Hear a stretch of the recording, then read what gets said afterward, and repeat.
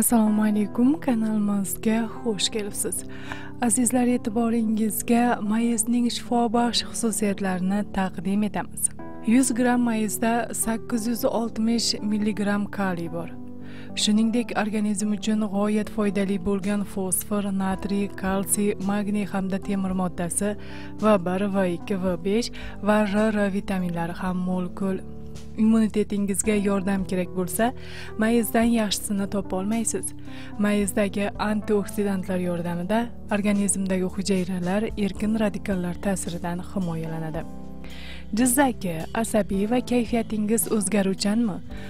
Bir siqim mayiz tanovvul qiling. Vitamin va mikroelementlar shuningdek magniy hisobiga asabingiz joyiga kelib tinchlanasiz.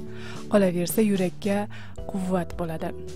Osteoxondroz yoki osteoporoz bezovta qildimi muolaja davomida taomnomangizga mayizni kiriting.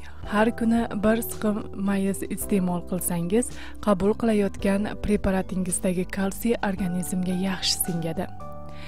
Kamqonlik aniqlangan bo'lsa mayizni yeyish bilan barobar uning suvini ichish ham tavsiya etiladi.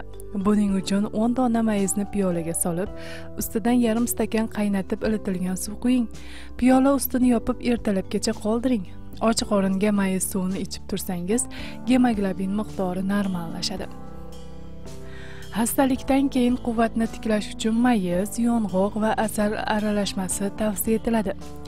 Teng miqdorda yong'oq va asalni go'sht qiymalagichdan o'tkazib tabga ko'ra asal bilan aralashtirib olasiz. Nonushta vaqti bir ikki choy qoshiqdan iste'mol qilib tursangiz kifoya.